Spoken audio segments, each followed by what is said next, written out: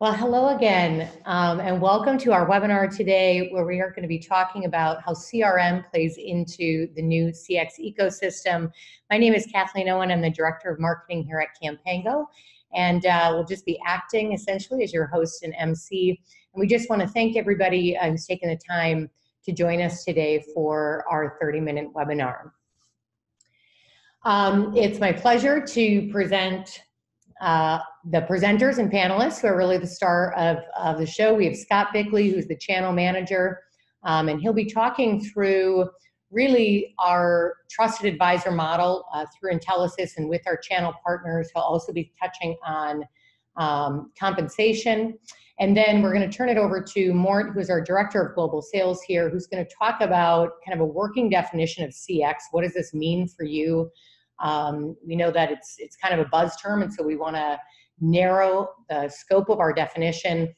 Um, also, be talking about how CX and and worker experience and organizational health are connected in this ecosystem, and then you know we want to bring things from concept to to um, reality. And so Mort's going to be sharing a lot of examples about how companies have used CRM to really drive CX and WX within their organization. Uh, just a few housekeeping items. Uh, we do have a chat function and a Q&A function. We certainly encourage and like participation. So feel free to ask questions and uh, if those questions are timely, we'll, we'll go ahead and answer those during the webinar. Otherwise, we'll leave plenty of time at the end. We are recording the webinar as well, so we will send this recording out within the next 24 to 48 hours, along with just some other um, kind of high value pieces of content that expand on the story we're telling you today. And lastly, if you want to delve into anything deeper, or there's something in particular that interests you during this conversation and this discussion today, please contact Scott Bickley directly. You see his email address. Um, or you can actually use the Calendly link that you see there. You have access to Scott's calendar and you can just book time directly with him. Uh, so at this point, I'm going to go ahead and turn it over to Scott, uh, who will talk through Canpango, our relationship with the channel partners. So Scott, go ahead. Thanks, Kathleen. Welcome to Webinar Wednesday, everybody. Um, I see there's a couple of new folks on the call, so I'm just going to fly through this real quick just to give you a bit of background on Canpango, uh, really where we are and what we're doing today. Um, so as the slide would dictate, we are predominantly based in North America. Milwaukee is our head office, which is where I sit today. Uh, we do have a large office in London and a growing presence in South Africa, where we have a number of uh, developers and staff that, that we can leverage, all full-time uh, FTEs, no, uh, no BPO model with us. Um, growing, that slide probably should be a little bit uh, updated now. There's around 100 of us uh, today at Canpango with over 100 Salesforce certifications. Um, one of our leader architects is actually uh, one of seven globally uh, at his level of certification. So uh, we certainly have the capability across uh, the majority of Salesforce products and services that we can deliver and implement for your customers. Um, talking of customers, we have probably around 600 or so customers today with around a thousand projects completed. So a number of uh, customers come back for, for multiple phases, which again is exciting for you guys out there talking about Canpango services as what we do today with your customers is evergreen for you. So whether you're in the room or not, that revenue will still flow through to you um, Salesforce Gold consulting partner, which basically gives you access to uh, a number of different um, uh, support tools. So again, obviously, uh, speedy, speed and accuracy when it comes to implementing Salesforce products and services. So how does this make you an indispensable partner? Again, we touched on this last week, but for the folks that are here new that, that, that weren't uh, engaged on last week's webinar, and by all means go back and um, search that out on the Camp Canpango website and the Intelisys uh, website. Really, the purpose of working with someone like Canpango is that we help you elevate your conversations throughout the whole organization. Today, you may be talking to the, to the uh, technology team around CCaaS, UCaaS, uh, uh, disaster recovery services. Working with, with a Salesforce integrator like ourselves helps you get into the sales teams the marketing teams, helps you to have conversations at, at the C-suite board level around business strategy and how they can evolve their organization through the use of really cool technology like Salesforce uh, and leveraging that as a platform, which gives them uh, opportunity to grow their business and drive revenue. So we're excited to give you that opportunity um, and to make you or to help you become a trusted partner within your, your customer organizations. Again, the engagement model, obviously the customer is yours, you own that relationship. Uh, Canpango, we'll, we will provide you with strategy and services around uh, business process management uh, and technology implementation and integration services, predominantly through the Salesforce platform. Uh, we are obviously able to integrate a number of different tools and uh, applications to Salesforce. Uh, again, be that the CCaaS world that, that really helps when, when we start talking about customer experience uh, and worker experience that Mort's going to go through in a little bit more detail in just a moment. But coupled to that, pretty much anything and everything that an organization is using internally can be integrated to Salesforce, and this is where we help with those conversations and bring that through the process for you. So that was just really a quick recap on Canpango and why why we really are uh, adding value for you and through your customers. Um, really, the key thing: how does it work in terms of compensation? we're not monthly recurring revenue, we are project-based fees. So again, obviously, we know that that's a little different uh, in terms of what you've been used to in the past, uh, but, but, hopefully this is becoming more and more commonplace for you now. Um, Salesforce doesn't compensate uh, on any of their licenses, so really the value that you're going to drive in terms of revenue is going to be on the project-based fees um, and our professional services, which is why it's important to really work through business processes with your customer to make sure that we are uh, able to grow um, their, their revenue by implementing really cool Salesforce products and services. Um, it's evergreen revenue, as we uh, mentioned before, but, but Salesforce, again, doesn't do any renewal revenue on licenses. The percentage today paid through to Intelisys is at 20%. Um, and then obviously you guys out there have your own deals with Intelisys in terms of how much of that you recover. So um, a lot of interesting opportunities. Um, uh, project fees obviously can be significant, um, and obviously that, that, revenue for you is evergreen. So uh, multiple phase projects helps uh, customers really understand what their journey uh, looks like through the Salesforce ecosystem. So without further ado, Mort, let me hand it over to you to talk through where we're at in terms of CX. Yeah, thanks a lot, Scott. Appreciate it. Uh, good morning, good afternoon, everyone. Uh, happy to be on this call to talk about a topic that I'm actually very passionate about. So, CX, which is essentially an acronym for customer experience, uh, is something that I think is an absolutely critical part of any B2B conversation. Now, I'm going to explain to you what CX is, not through definition, but through a story, a personal story, as a matter of fact. So, uh, in January, I was flying from Milwaukee to LaGuardia uh, in New York on Delta Airlines, and uh, there was some weather that kind of impacted the flight, pretty substantial delay.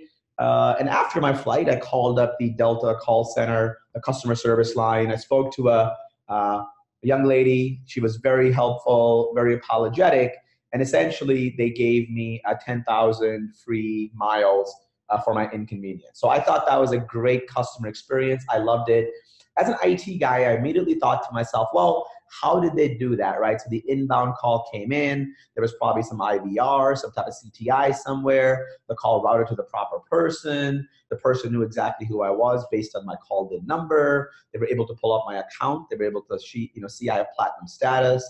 Maybe that played a role in what type of, uh, you know, like benefit they provided me.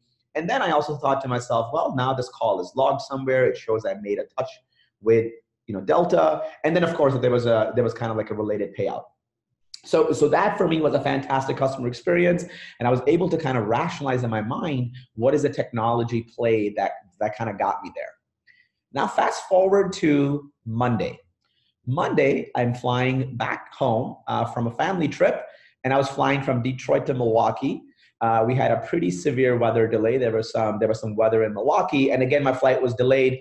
Now I'm sitting at the Detroit airport at 2:30 in the morning. My flight has just been delayed. I am is very frustrated. I'm aggravated. And the first thought that went through my mind was, you know what? I'm going to call the call center. Um, I'm going to have a great experience. They're going to give me 10,000 points and I'm going to be happy. So I was already prepared to have a great customer experience. Guess what happened, guys? While I'm sitting at the airport at 2:30 in the morning, I get an email from their customer service department telling me, "Hey, very sorry, Mort. We noticed your flight was delayed. Here's the reason it was delayed. Here is your next flight out. And guess what? We're giving you 10,000 points. Guys, that to me is not just customer experience, but the progression of customer experience. So the customer experience for me always starts with a journey. And the journey is not just when you talk to your customer, the journey happens at every level of interaction with your organization. The fact that the second time I went through this, I never spoke to anyone at Delta. I didn't touch anyone at Delta. There was no proactive touch point with Delta, but the journey still happened. The interaction still happened, but it happened at a different level. And I think that's really what helped it stand out. Also, if you think about how it happened, that intersection point of how they reached out to me and proactively solved my problem before me ever even letting them know a problem existed, the impact of that was tremendously more for me. So the first time I called them, they solved my problem. The second time, they just solved my problem without me ever calling them. So the weight of that experience is significantly more. And that's why I shared that story with you today. And when you think about customer experience, the customer journey, you always think about it from the customer perspective. You think of it from my experience, from my perspective, but then you can rationalize in the background how that's happening. So I shared with you the first step on how I thought the IT, uh, you know, supported my journey. In this second step, guys, you know what they added? They probably added some type of a marketing tool right? They added some type of a tool like a Pardot or a marketing cloud, things that we at Canpango service. And that tool told them, guys, guess what? Last time when this happened with Mort, he called in, we gave him 10,000 points. This time, let's save ourselves some money on that inbound call. Let's save ourselves some money on the time that we have committed to whatever hours that person has to use to respond to the call. And let's use those hours for something more beneficial to the organization but let's still take care of Mort as a customer. So I think that when they when you look at it from a customer's perspective, that's where the solution comes from. But the journey to get there is all IT and technology based, and it's all going to be based in the background. Another really critical point about customer experience is all about the comparative nature of it. Delta is not the only airline I fly. I also fly American. As a matter of fact, uh, my wife and I are going on our honeymoon. We're leaving in two weeks, and we're taking American, but when we get to Europe, we're taking three other airlines to go all over the place, right? So Delta is not even going to be in play there. But you better believe that while I'm on these airlines, I'm immediately going to be comparing their service, their interaction, their automation to my experience with Delta. So customer experience is always comparative. And when you talk to your customers about the value of customer experience, the way you make yourself stand out as an expert is to tell them, guess what? When we talk about your customer experience, we're talking about your customer experience in the grand scheme of things. And it's critical to help them with some of that industry research and make sure that they understand where their comparative benefit sits within their competitive set. And that's a great way to add value to your customer. And you also have to understand where within a customer journey you level set the direction. So what that means is when you are an airline, as I gave the example, um, the airline is essentially the upstream step into my journey or you know or the downstream step into my journey. When i flew out on delta i was starting a vacation. When i flew back on delta i was ending a vacation. So depending on the identification of that step you can level set the direction or how you approach. If i in my opinion when you think about customer experience if i'm on my way somewhere I'm probably less likely to be upset about something bad happening because I'm going to a fun destination, right? Right. So if you have the data point that says Mort's going on vacation, I'm probably willing to compromise some customer experience because I know that the end is going to be something fun. But on the flip side, if I'm coming back from vacation, I've just had an awesome time. Uh, I'm going to be more needy when it comes to my customer experience needs. And this is the type of intelligence that uh, we can help you with some research, some market research, and, and like help you understand that within each industry, how that uh, identification uh, is very, very important. So let's talk a little bit about how technology and some of the technology functions uh, can kind of coexist inside of the customer experience ecosystem. This is a graph you're probably going to start to see more and more as you work with Canpango because Canpango, Intelisys, Salesforce have a very strong and conscious effort of moving towards customer experience as a solution uh, as we look at our strategy for 2019 as well as moving into 2020. So having an enabled workforce, and you enable your workforce through tools. You're going to enable them through things like the Salesforce platform, where you can have that customer 360 view. You're going to empower that workforce by giving them data that's being collected from tools like Pardot and Marketing Cloud. Again, tools that uh, you know we have experts here at Canpango to help you navigate. We're going to engage that workforce. We're going to engage the workforce by making sure that they have proactive steps and actions available to them. So when I call them for support, we're going to engage them by making sure all the data they need is there, and we're going to make them act on that data through giving them some some you know some you know some industry best standards. One of the things, and probably the, the reason I'm so passionate about customer experience is the impact on your worker culture.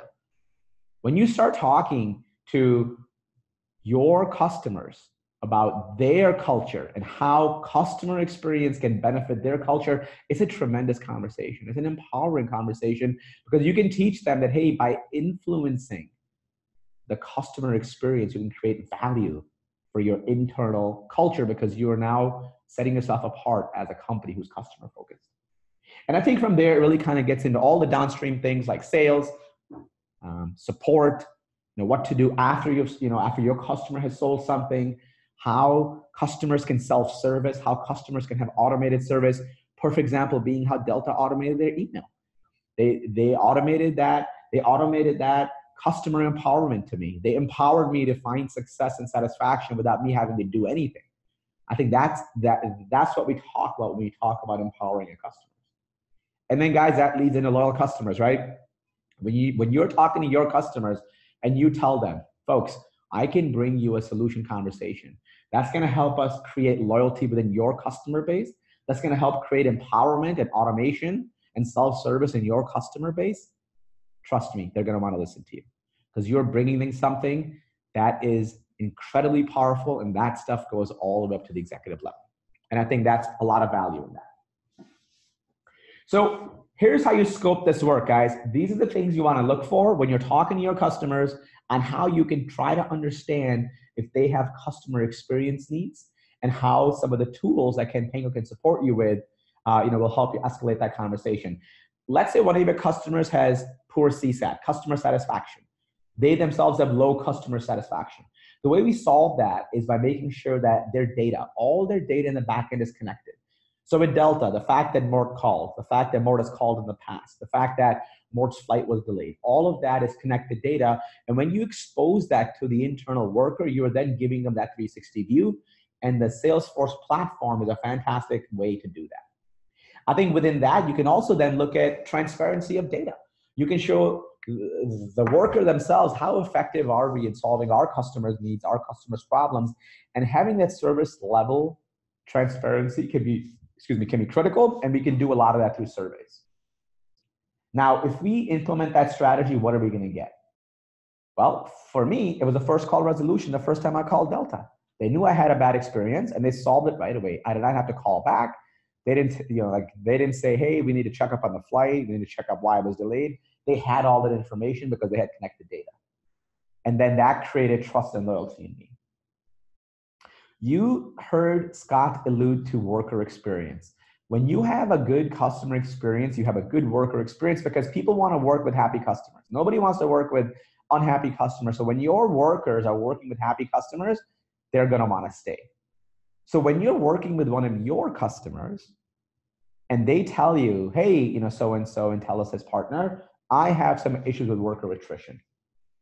That is a great opportunity to start talking to them about customer experience. Some of the strategies we can employ there is gamification, getting those workers involved, more training education. guys, simple things like better communication. All these things increase your worker experience, and that increase in worker experience and benefit is going to lead to less attrition issues. And of course, you can see the impact of why people want to be part of organizations that are offering them training and strong communication, right? They kind of get that sense of belonging. That, you know, like the education shows a commitment to professional growth uh, and being part of something bigger. I like that we put belonging twice because that's super awesome. I think another thing is if you have customers that are talking about having issue with getting good talent, I think increasing your customer experience is a great opportunity to identify and collect and bring on stronger talent.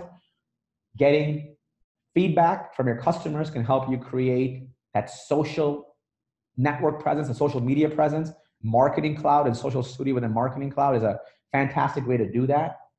Uh, we have helped implement many of our customers with this concept of talk to a worker. So if you have someone who is, uh, you know, so if you have a customer that going through an interview process, you know, we can teach them how they can ex- they can leverage their existing employees to help create a better experience.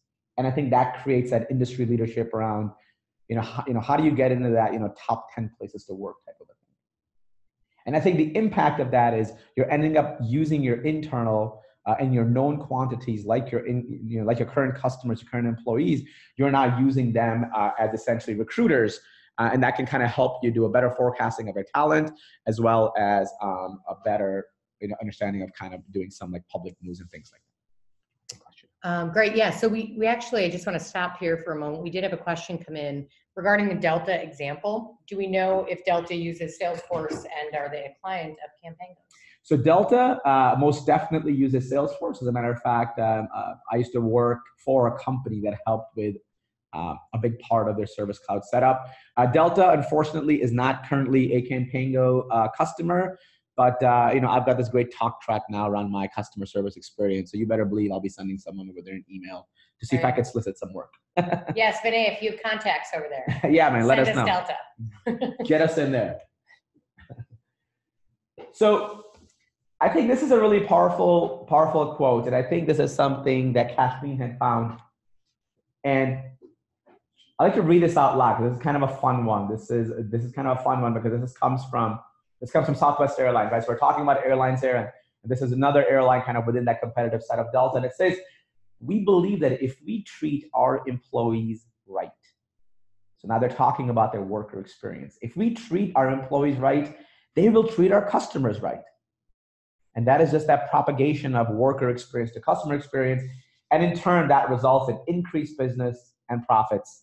And I think Southwest is a great example of that. So, guys, what we're trying to tell you here is when you're talking to your customers, customer experience is the end product, that is the destination.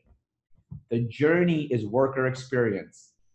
And your satchel for the journey are the tools that Canpango services, like the Salesforce platform. So you empower their worker, you empower your customer through Canpango and Salesforce. And the benefit that they see is their customer experience.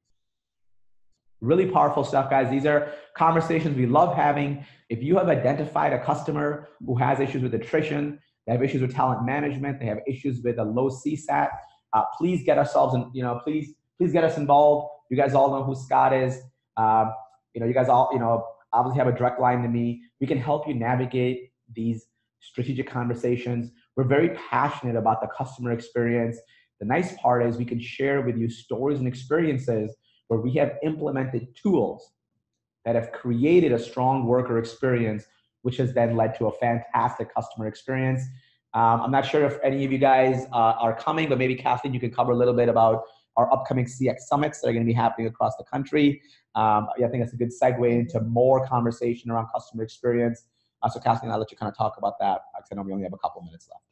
Yeah, so thanks so much. We do uh, have a few CX summits, and the purpose of the CX summits are to bring together um, and really showcase the alignment between the vision of Intelisys and how it is empowering channel partners, right, to, to drive CX uh, for their own customers and how that aligns with um, how Canpango fits into that and Salesforce. We will actually have Intelisys, Salesforce, and Canpango all on the stage together talking about um, everybody is kind of focus on CX and how each of us fit into that puzzle um, in order to, again, empower you, the channel partner, um, who owns the relationship with, with the customer and how we help, just like Scott was saying, help you elevate those conversations and ultimately become really indispensable, right, and much stickier because um, you are now talking about long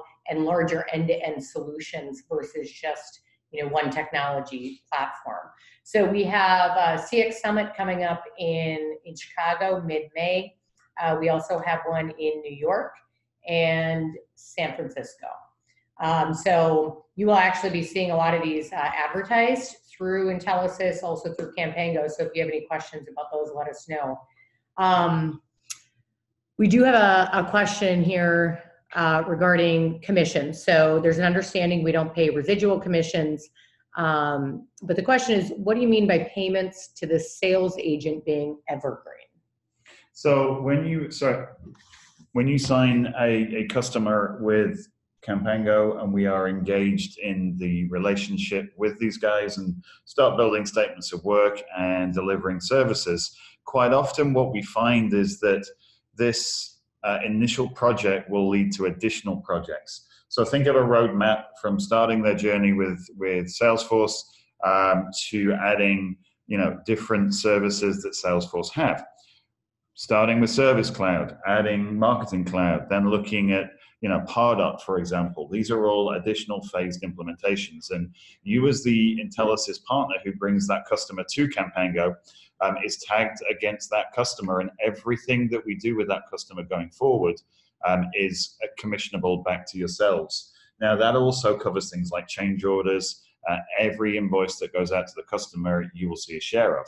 So, whilst this isn't a traditional uh, monthly recurring revenue model, we have customers that we invoice on a monthly basis for for um, you know 12 18 24 months at a time because of the number of different projects that we're running with them. So today, uh, these uh, uh, customer interactions are evergreen, and obviously, we just wanted to make sure that you guys were aware of that, whether you sat in the room or not. When the next phase gets signed, it is comped back to you. Yeah, and just to add to that, so a couple, so so a couple ways to really kind of think about this is when Scott earlier talked about Canpango having about five or six hundred customers in our history, but doing well over a thousand projects uh, we rarely do one-off projects. So when we meet with a customer, uh, we may engage them on a very specific need or a very specific pain point. But once we're in, we develop that trusted advisor relationship, and that helps us grow into, uh, you know, into more business. So, so that's essentially the context behind Evergreen. Is once we're in, we are now helping build your book of business. We are now helping uh, you know grow more revenue payments for you by us kind of organically doing what we do best which is you know get you know get multiple deals. And guys when we think about customer experience um, customer experience is a journey. Uh, customer experience is not something you turn on with a switch because if you did everybody would do it. But customer experience is based on a connected technology strategy. So now when we talk about that you're talking about engaging with your customer on multiple Salesforce conversations, and you guys will continue to earn benefit from all those conversations financially. Mm-hmm. I would just add to that because this has come up in other conversations that you know crm empowers that because it provides direction the data provides direction on what needs to be improved um, within your own organization in order to improve cx right and and begin to perhaps even monetize some of that so i think um, I just want to point that out because some of those questions come up, like how does CRM play into that or the data play into that?